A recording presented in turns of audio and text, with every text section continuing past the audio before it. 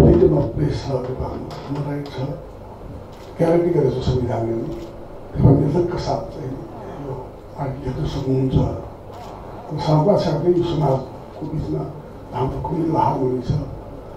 राष्ट्र हामी धेरै किसिमको हिमाल पहाड मधेस छ विभिन्न जाति जनजाति आदिवासीहरू छन्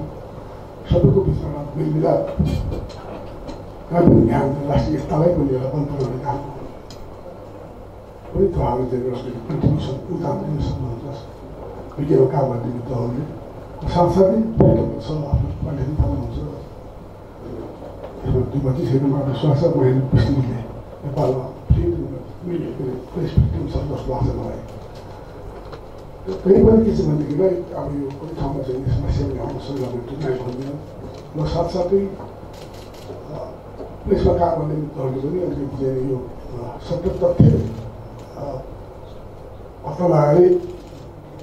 लेख्न उचित भाव लाग्छ मलाई। मैले भनेदेखि भनेदेखि चाहिँ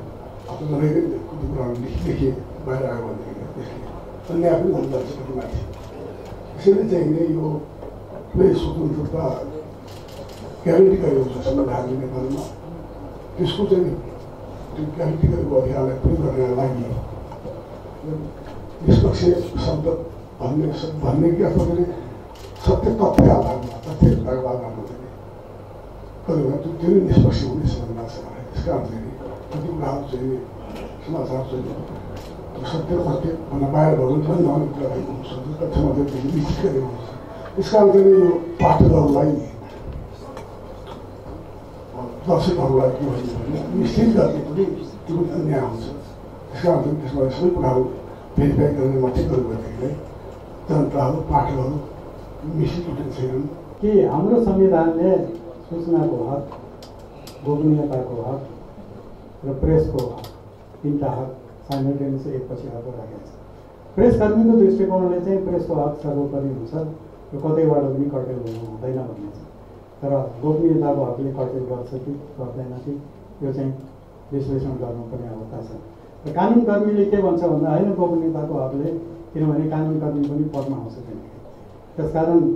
यो हक चाहिँ निर्वाध हो कि निरपेक्ष हो कि सापेक्ष हो त्यो चाहिँ बस अझै पनि चलिरहन्छ अनि यस्तै सन्दर्भमा कलकत्ताको एउटा घटना याद हुन्छ म बिएससीको विद्यार्थी थिएँ कलकत्तामा वामपन्थी सरकार आयो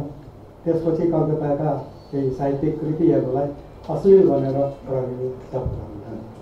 अनि साहित्यकारहरू कलकत्ताको व्यस्त यस प्लानेटमा ट्रामको ट्र्याकमा बसेर ट्राफिक गर्ने काम गर्न थाले। बहस चल्यो साहित्यकारले ट्राफिकको काम कसरी गर्छ? अनि साहित्यकारले भने जब पुलिसले साहित्यको काम गर्न थाल्छ आधार छ भने हाम्रो ट्राफिकको काम